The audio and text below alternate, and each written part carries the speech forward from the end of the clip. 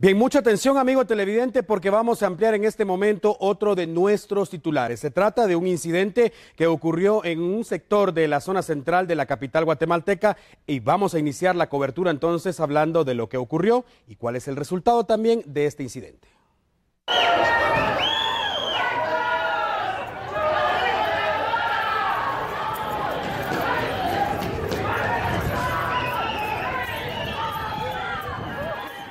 Estas imágenes fueron captadas esta tarde en cercanías de la Plaza El Amate. Se estima que al menos 100 personas corrían para capturar a un delincuente. Iban hombres adultos, mujeres, adolescentes e incluso niños detrás del supuesto pillo.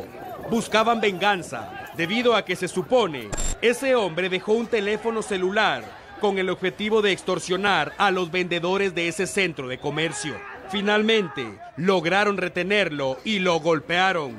Algunos querían quemarlo, pero de inmediato la Policía Municipal y la Policía Nacional Civil activaron las alarmas. Incluso fue necesaria la presencia de un contingente antidisturbios para retomar el control de la situación y librar al sospechoso de lo que parecía una muerte segura. Finalmente, el sujeto fue arrestado por la Policía Nacional Civil y llevado a torre de tribunales, como mandan las leyes guatemaltecas.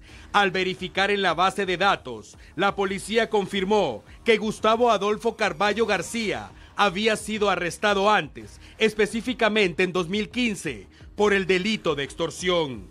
Con ese antecedente, la mayoría cree que efectivamente se trata de un delincuente pero hay que recordar, amigo televidente, que por sobre todas las cosas, la presunción de inocencia.